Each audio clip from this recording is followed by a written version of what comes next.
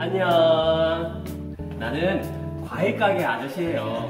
우리 오늘 특별히 과일 가게 한번 소개시켜 드릴게요. 우리 과일 가게에 어떤 과일들이 있는지 소개를 시켜줄게요. 우리 먼저 여름 과일들을 소개시켜 줄 건데 우리나라에 있는 대표적인 여름 과일 가게 수박, 참외 있고요. 그 다음에 우리 여름 과일로 우리 또 종종 먹는 토마토 이거는 복숭아 여기는 방울토마토도 있네요. 그리고 우리나라에는 잘 나지 않지만 여름에 여름 나라에서 많이 먹는 파인애플 이거는 바나나도 있어요.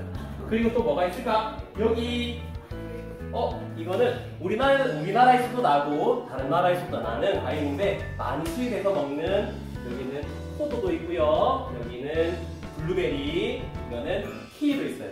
그리고 마트에 가면 생소한데 종종 볼 수 있는 과일들이 있어요. 어떤 과일들이 있을까?